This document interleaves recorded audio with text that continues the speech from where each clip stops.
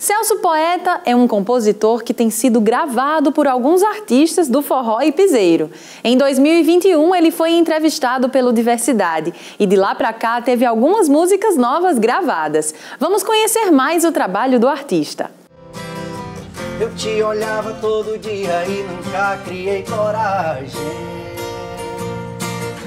E pra todo lugar que eu ia, me enxergava em uma miragem. Quando eu participei do programa Diversidade, é, em 2021, eu estava no início da minha trajetória.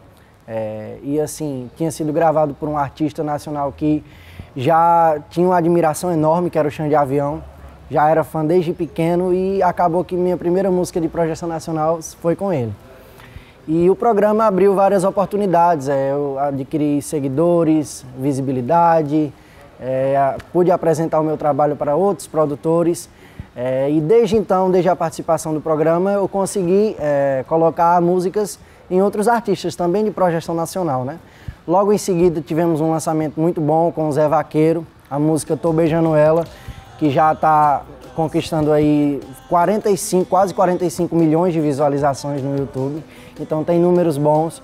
É, também tivemos música de trabalho com um artista nacional, Caio Costa, que teve sua música de trabalho, Seu Jeito de Amar, também é, composição minha. A gente teve um lançamento muito importante de projeção nacional também do artista Vitor Fernandes, que é um nome fortíssimo no cenário do, do piseiro e do forró. Contou também com a participação de uma dupla também que está super em alta, que é o Iguinho e Lulinha. O nome da música é Perdi Meu Tempo. E é, é um dos lançamentos assim que a gente teve muita ansiedade porque promete é, tem, tem uma perspectiva muito boa e a gente está bem, bem feliz com, com o lançamento. Sabe o amor que desprezou? Outro alguém valorizou. Perdi meu tempo quando te amei. Eu sofri, mas encontrei Quem gosta de mim e me ama. Quem gosta de mim e me ama. No processo de composição, a gente, quando está no início a gente costuma liberar músicas de graça até para artistas de menor projeção, artistas locais, para que eles, através do trabalho deles também, possam levar a nossa música a, a lugares, a diversos lugares. Então, assim, é, através disso, de, desse processo, aos poucos a gente vai adquirindo contatos de produtores, de artistas com maior expressão, né? E a gente manda as músicas para eles ou via WhatsApp mesmo, via e-mail, a gente não tem contato direto com o artista, é, eles fazem a, a, seleção do repertório, a gente envia e quando a música chama a atenção é que ocorre a negociação e a gente consegue ter a música entrando nos repertórios. No meu caso em particular, eu posso dizer que na maioria das vezes a gente faz uma música direcionando para um artista sempre não tem como fugir, sempre a gente faz uma música e assim que a gente vê a música pronta, a gente já imagina ela na voz de determinado artista. Então, é, a gente tem a, a gente às vezes coloca um foco, vamos compor na linha de tal artista, vamos compor para a gente ver se consegue entrar no repertório. Eita, tal artista está gravando um projeto, está selecionando músicas.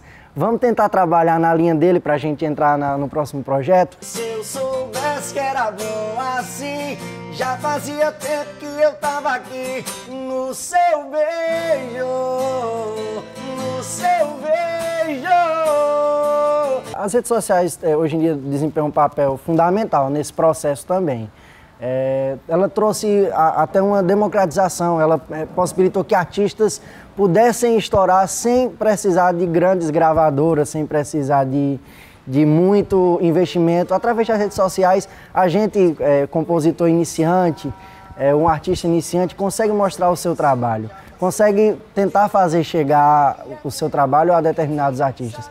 Então a gente está sempre tentando movimentar as nossas redes sociais, tentando fazer vídeos que chamem a atenção do público e também dos produtores. A gente segue os produtores, a gente chama a atenção, tenta fazer com que eles sempre estejam ligados ao nosso trabalho. Bom, o canal principal que eu uso é o meu Instagram, meu perfil é @celspoeta. É, então, para quem quiser conhecer um pouco do meu trabalho, conhecer é, um pouco das, dos meus lançamentos, dos artistas que já me gravaram.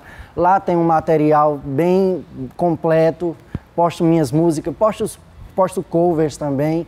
Então, meu, meu material está sempre por lá, estou sempre é, atualizando, sempre lançando novidades por lá. Quem quiser acompanhar no meu perfil, arroba Celso Poeta. E se eu soubesse que era bom assim, já fazia tempo que eu tava aqui no seu no seu beijo. Minha boca com a sua boca é um encaixe.